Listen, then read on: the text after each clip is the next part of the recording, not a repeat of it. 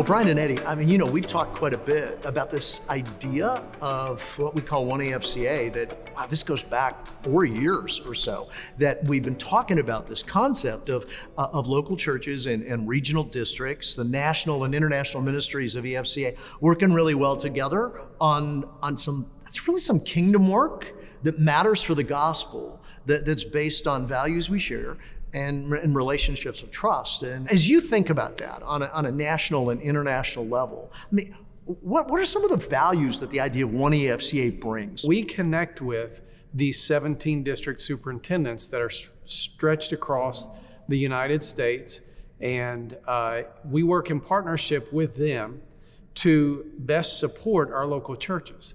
Because the idea for us is that if we can work with and for and through our district superintendents and their teams, then we have the best shot at having healthy churches because we can help our district superintendents help their leaders. And if we have healthy leaders, we have a good shot at healthy churches. And healthy churches, just by nature, are going to multiply. On an international level, Brian, what's the value there and how does that work? Well, it really begins with recognizing where Reach Global comes from. Reach Global is made up of hundreds of missionaries, 45 countries around the world, but we come from local EFCA churches. And so we, we remember this is who sent us. Uh, as a matter of fact, we're the international expression of the local EFCA church's desire to carry out the Great Commission on the international level. And so one EFCA is recognizing that's where we come from.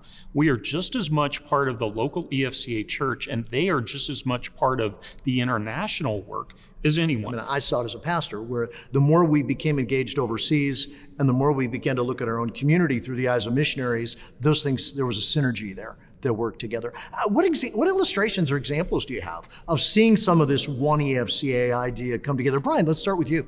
Well, there are quite a few examples, but let's take Haiti because that's fairly contemporary. Uh, 10 years ago, there was a big earthquake. Reach Global didn't have a presence in Haiti, but God opened the door for opportunities for ministry. And that was through crisis response, which is part of Reach Global and serves both nationally and internationally. That began to open the doors for missionaries to be able to live there, connect with local churches, and then Global Fingerprints came in. And and other churches were engaged. So a consortium was developed, grouping of EFCA churches who had a real heart for Haiti. And they came together and said, what can we do together that any one of us couldn't do on our own? Global Fingerprints um, came in to give us opportunity to reach into a community that would never step foot into a local church. And this was in partnership with the local Haitian church. As a result, many kids have had the opportunity to hear the gospel their families have been impacted, and new churches have been planted as a result of local EFCA churches, various Reach Global missionaries, and ministries joining together for one purpose multiplying transformational churches. Eddie, how about on a national level? I mean, as you look at the ministries that you're connected with, uh, where are you seeing that happen? Yeah, I think the first one uh, has to do with church multiplication itself.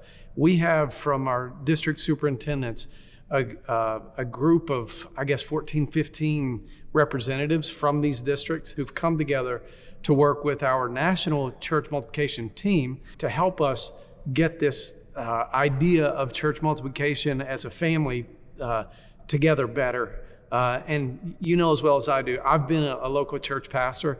A lot of local church pastors are thinking, man, you guys keep beating this drum of church multiplication. All I want to do is make budget.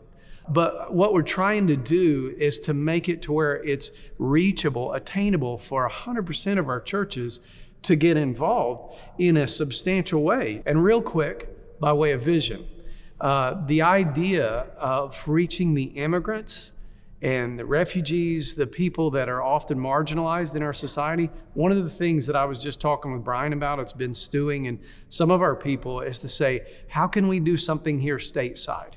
To reach these people groups. There's some more stuff that's coming there, and I think that will connect us internationally, nationally, local church, and that's exciting with our districts as well. Now, the other thing I found was fun in our conversation is you guys talked about the fact that you talk together about these things. And part of what we're trying to do is genuine partnership based on values we share and trusting relationships happen as we spend time talking together, praying together, dreaming together about what God could have us do. I'm excited to see what He's going to do in the future. Thanks for what you're doing. And uh, I believe God has some very exciting things in store for the EFCA as we learn to partner together to be one EFCA.